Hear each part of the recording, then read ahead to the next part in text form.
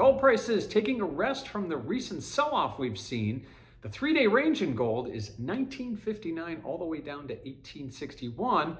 That's the range from Thursday and Friday. Today we actually saw a modest little uptick up to 1865. So while we didn't see a magical move higher back to the highs or at least back to where we started the sell-off, we stopped seeing the pressure move to the downside. Today, the, a lot of this was fueled last week from the dollar, from the strong non-farm payroll number, as well as some hawkish comments after the FOMC meeting, but clearly the market now in wait and see mode as we did not see that sell-off continue despite the fact that the dollar was stronger today, despite the fact that we saw treasury yields moving aggressively higher today, sort of uh, waiting for that next catalyst event, which we will talk about perhaps uh, that's coming in a moment.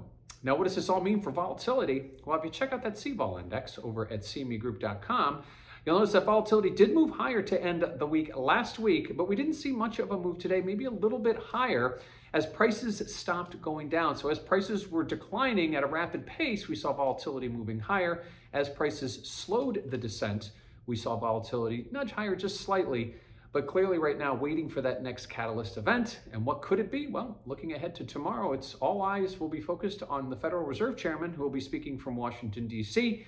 Uh, perhaps a chance for him to comment not only on the recent rate hikes from the Fed and other central banks, Perhaps he'll talk about the, uh, the stronger than expected non-farm payroll number on Friday or the increase in volatility we've seen across all asset classes, metals not excluded. So I think at this point, the market will wait to hear what the Fed chairman has to say, maybe about potential rate hikes down the road, about potential market conditions that he's seeing.